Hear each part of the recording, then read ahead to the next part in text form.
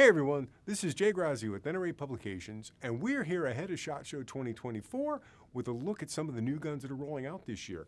Today, we've got a Stoeger here, and we've got Brett Maffitt with Stoeger Industries who's going to tell us about this new gun, the STR9 Combat X. What can you tell us about this gun, Brett? So this gun was actually developed um, for NATO tenders.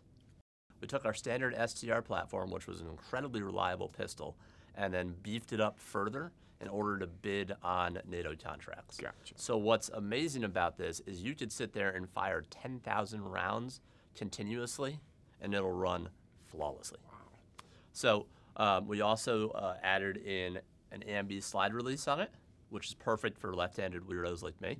Um, there's no finger grooves on the front. Uh, it still has the removable and interchangeable back straps on the back. Um, and then we applied our combat treatment to it. So those familiar with the combat line in the standard STR series will recognize the um, the optics ready nature.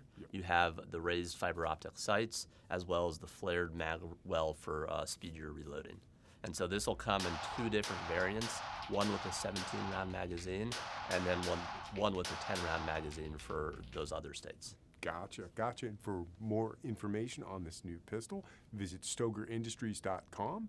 And for more guns and gear, stay tuned to NRA Publications.